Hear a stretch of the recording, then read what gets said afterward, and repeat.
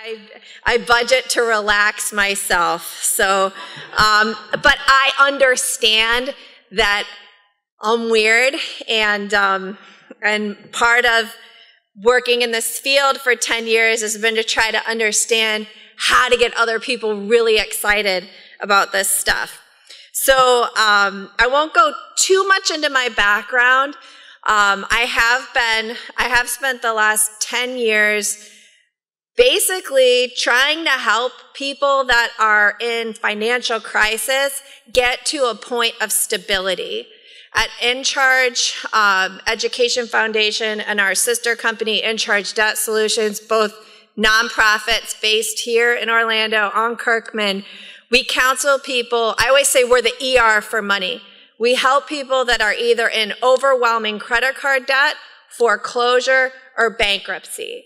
So three of the big sort of money catastrophe budget uh, buckets. And we help kind of guide people from crisis to whew, I can sleep at night. As director of education, my job is to provide the educational component that transitions people into that financial stability. Um, I thought when I started this job and I looked around at who was out there and doing this kind of work, especially in media, on TV, um, best-selling authors, that it would be really great to have a rags to riches story when working in this field. I don't have a rags to riches story to share with you. I have only my story, but my story is more of a cornfields to magic kingdom story.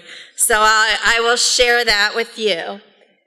Um, I am from a very small town in the Midwest. In fact, when I was in elementary school, we had to memorize the population 4,605.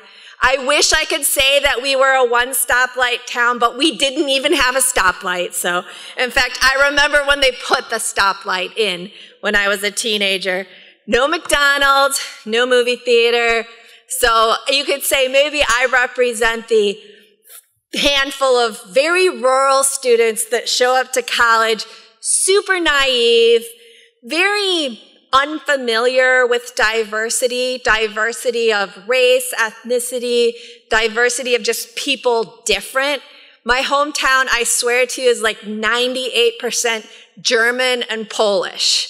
I mean, that's Midwest. That's a Midwestern small town. Um, but I was crazy. I was born crazy. And I decided when I graduated from college, I went to Northwestern, great school.